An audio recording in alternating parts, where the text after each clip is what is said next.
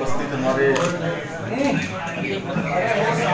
पुराने साथी आदि मनीष जी, हमारे दयाशंकर भाई और हीरो वाजपेयी जी और हिमांशु जी समेत सभी उपस्थित हमारे सभी पत्रकार मित्रों एवं भाइयों, मैं आप सबका धन्यवाद करता हूँ कि आप सब लोग क्योंकि लगातार कल से मैं देख रहा हूँ।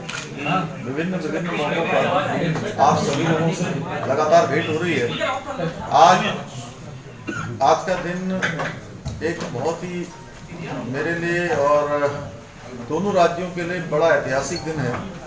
आज हमारा जो 21 वर्षों से 21 वर्षों से जो परिसंपत्तियाँ थी, उनके बंटवारे को लेकर लगातार बात चलती रही, लेकिन उसका निस्तारण आज हो पाया है।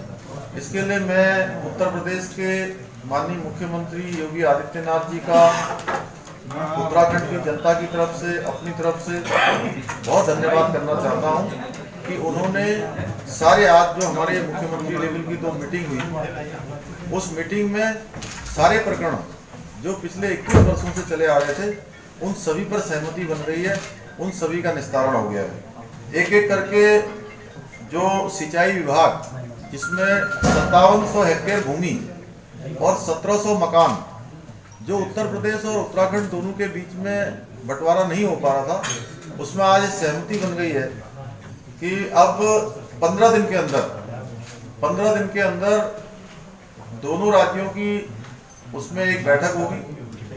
उसका एक तरह से दोनों का सर्वे होगा और सर्वे के आधार पर जितनी भूमि उत्तर प्रदेश को ज़रूरत है, वो उत्तर प्रदेश को मिल जाएगी। जितने मकान की उनको ज़रूरत है, वो उत्तर प्रदेश को मिल जाएगी। बाकी का सब उत्तराखंड को मिल जाएगा।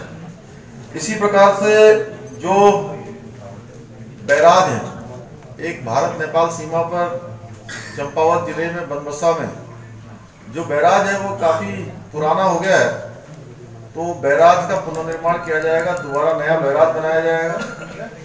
और साथ में जो किच्छा का बैराज पिछली जो 18 और 19 अक्टूबर को जो आपदा आई थी, उस आपदा में उसको भी काफ़ी नुकसान हो गया है, वह भी बनाया जाएगा।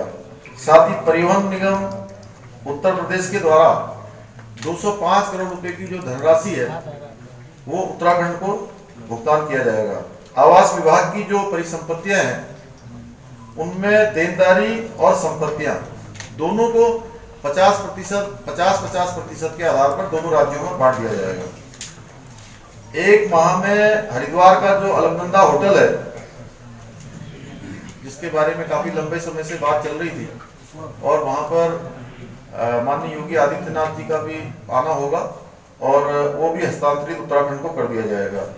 किच्छा में बस स्टैंड की भूमि है, वो आज ही फैसला हुआ है कि तत्काल उत्तराखंड को हस्तांतरित कर दिया जाएगा। वन विभाग के अंतर्गत 90 करोड़ के अवशेष जो भुगतान है, वो उत्तर प्रदेश द्वारा तुरंत कर दिए जाएँगे।